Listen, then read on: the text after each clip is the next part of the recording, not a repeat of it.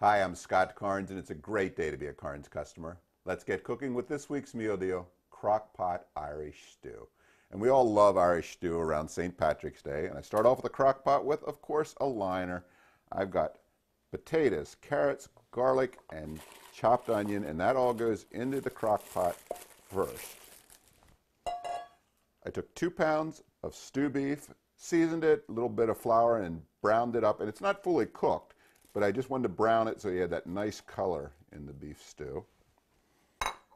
Can of beef broth and tomato paste. And I mix that well together. We're just going to pour that over top of the potatoes and the onions and the beef.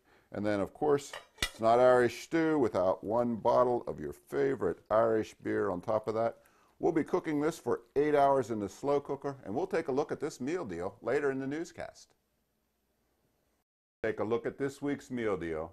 Irish crockpot beef stew. It's got all of my favorites, including my favorite Irish beer, and it cooks in just eight hours in the slow cooker, and you've got to have some St. Patrick's Day cupcakes for the dessert.